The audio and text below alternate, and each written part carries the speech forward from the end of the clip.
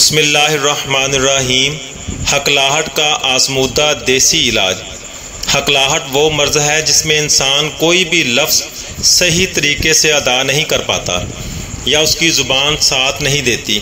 वो बोलते रुक रुक कर बात करता है। यही वजह है कि वो एहसास कम तरी का भी शिकार हो जाता है और ज़िंदगी में आगे नहीं बढ़ पाता और लोगों में बात करने से डरता है। उसकी वजह नर्वस सिस्टम में ख़राबी हो सकती है, क्योंकि नर्वस सिस्टम हमारे सारे जिसम को कंट्रोल करता है। अगर उसमें कोई नुक्स पैदा हो जाए तो भी हकलाहट का मर्ज पैदा हो जाता है। इसके इलाज के लिए हम एक आसान सा नुस्खा लाए हैं। नुस्खा बताने से पहले, अगर आपको किसी चीज़ का नुस्खा चाहिए हो, या कोई मसला दरियाफ्त करना हो तो हमें कमेंट्स में ज़रूर बताएँ। हम आपकी ख्वाहिश पर नुस्खा बताएँगे इन नुस्खा और तरीका। अकर करहा 10 ग्राम। तेज़ पात 10 ग्राम। काली मिर्च 10 ग्राम। इन तमाम अज्जा को ग्राइंड करके अच्छी तरह मिक्स कर लें।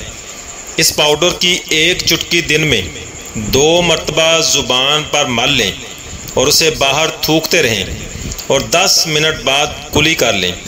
एक हफ़्ते के इस्तेमाल से ही हकलाहट में वाजिया फ़र्क महसूस होगा। बच्चों में हकलाहट दूर करने के लिए बादाम और अखरोट की दस दस गिरियाँ लेकर उनका सफूफ बना लें और रोज़ाना सुबह एक खाने का चम्मच खिलाएँ। इन बच्चे हकलाना छोड़ देंगे और उनकी हकलाहट बिल्कुल सही हो जाएगी। दुआओं में याद रखें। अल्लाह हाफिज़।